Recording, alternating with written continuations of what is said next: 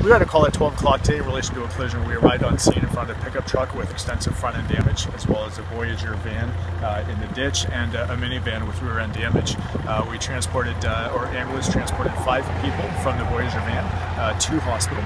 Uh, there were two occupants within the minivan and one in the pickup truck. none of them transported to hospital. I mean, we can look at the roadways now. Uh, they see they appear to be clear, a little wet, uh, not covered in snow or anything. So it's it's unknown as to what exactly contributed to the uh, to the collision.